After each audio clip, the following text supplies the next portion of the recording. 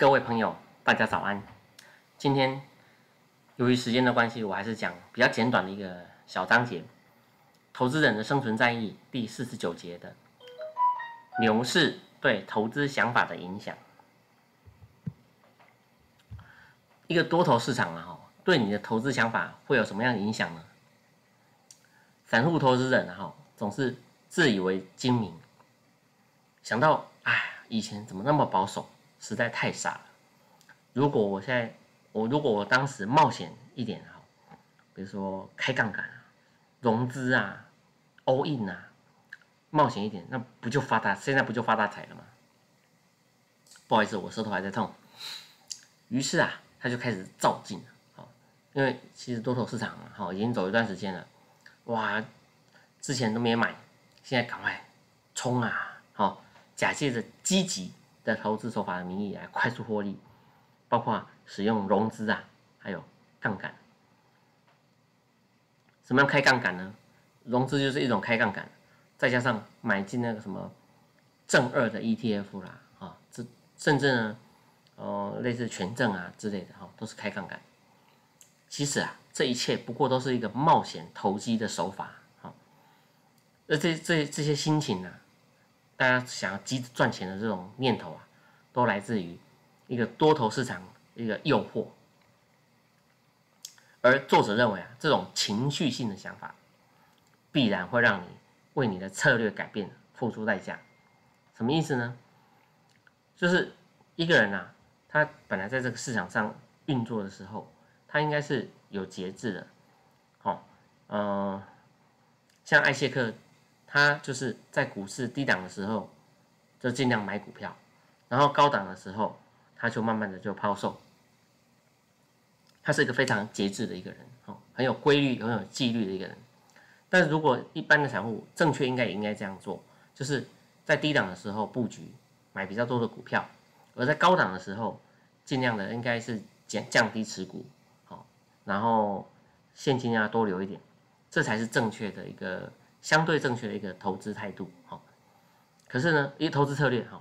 但是呢，因为你个人的这种想要多赚一点的这种情绪啊，好，这种贪婪的情绪，改变了你的原先的投资策略的话，那你就会遭受很大的损失。什么意思呢？一旦到了股市后期的时候，哇，你看这么好赚，哦，动辄就涨停，这时候呢，你 all in 下去了哈。就是跌停，那你你的亏损就会相当的严重。多头市场啊，哈，容易让投资人忘记他的长期目标，而且容易过度投机、频繁的操作，胡，因为这时候很多股票都会飙涨嘛，很很容易就胡乱听信别人的意见，过度投入资金，这个很重要哈，很容易过度投资资金，忘记了高档的股价早就已经反映了利多了。而这个你的策略的改变，哦，本来应该是很稳健的，低买高卖的哈，结果因为你看看到大家都在赚钱了，就是改变了自己的策略，这时候呢导可能导致你的亏损，哦，甚至把你获利要吃掉，损陷你原来的投资部位，提高了你的投资风险，而你的资金就浪费在市场的高点，等到它回档的时候，你已经没有钱了。因此啊，建议的基本原则，好要守住的一些基本原则，在多头市场进行过程当中，你要做一些重要的事情，这些基本原则不要违背，那你就能够比较能够全身而退，安然度过。第一个，用最强劲、最好的股股票来建构你最坚固的基础。所以其实啊，我们要尽量追求强势股。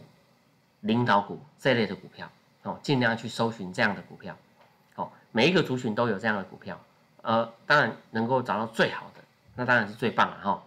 那也因为它是最好的，所以大家都在追捧，它的价格肯定不便宜啊。而这些上市公司啊，哈，它的基本条件是什么？它是我说这样子的最强劲、最好的公司，它要怎样？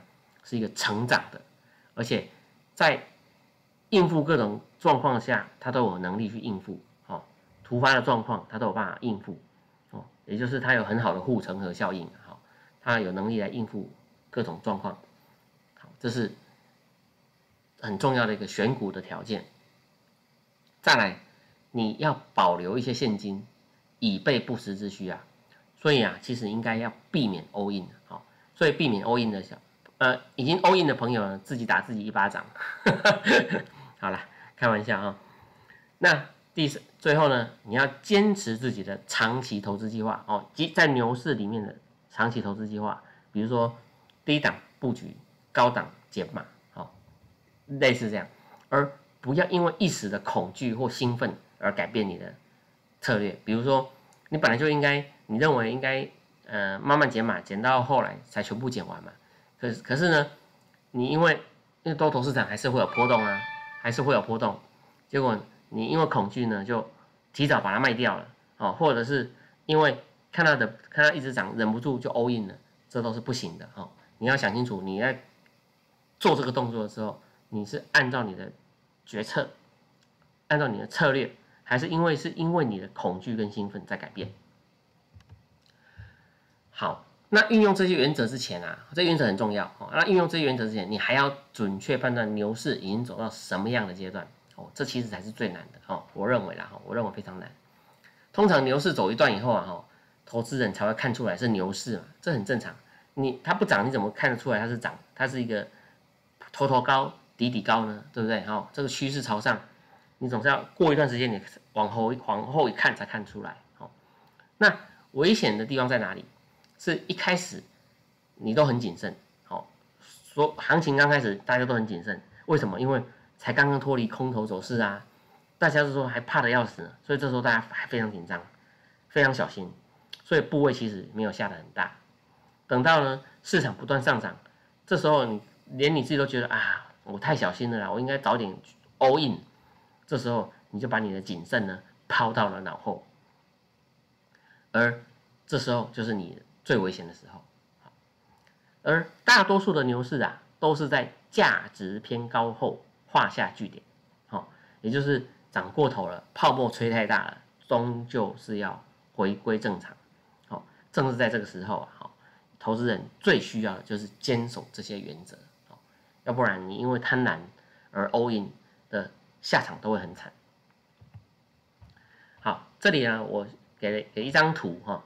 呃，这个是那个美国纳斯达克期货指数的那个线图哈，大家可以看到哈，在今年以来年初哦，因为一样哈，还是新冠肺炎的关系，导致了一个大大幅的下跌，快速的下跌，跌到后来哈，大家都吓死了，真的，那时候真的是我还印象很深刻哦，印象很深刻，恐慌指数一哦，连续好像两天的样子，两天还三天，恐慌指数，然后呢，终于开始。涨回去了。那时候其实我都已经，我的我记得我资金惨赔了大概五十趴吧。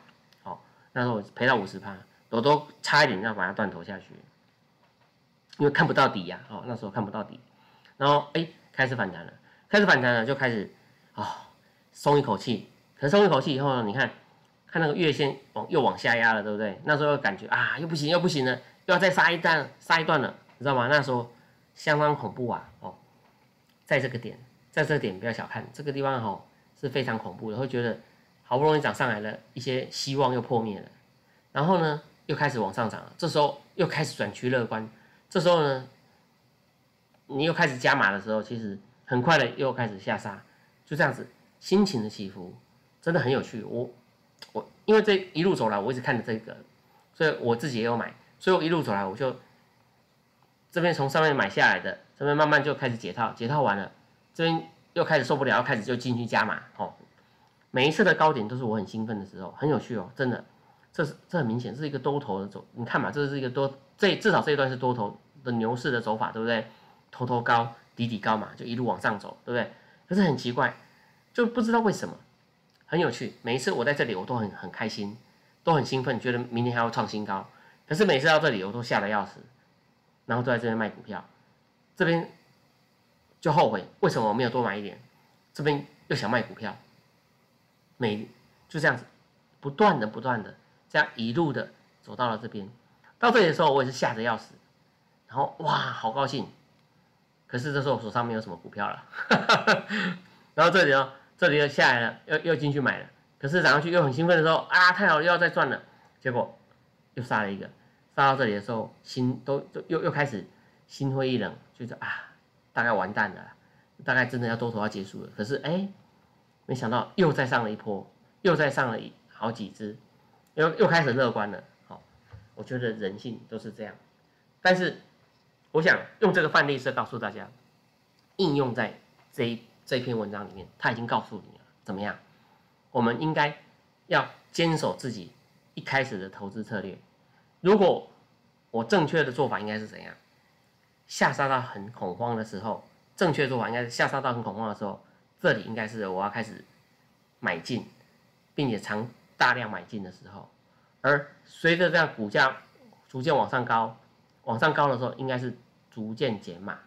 这才是一个有纪律的投资人应该做的事情。哦，到这里还是继续减码，减码。哦，那高点到哪里，没有人会知道。但是我已经避免了大幅下跌的一个风险。哦，我认为我我蛮佩服艾谢克，他能够用这样子的一个呃所谓的景气循环投资法。哈，低档买，高档卖，然后一回档再买。好，他都是这样子。哈，他就是自己设一个百分比哦。上来就卖，跌下来再补回来，上来就卖，跌下来补回来，就是用这样的心态，然后不断的在这个多头市场里面不断的冲浪，玩的很开心，真的很羡慕他，我也希望自己将来有一天也能够像他一样。好，那今天就讲到这里，那预祝大家操作顺利，身体健康，心情愉快。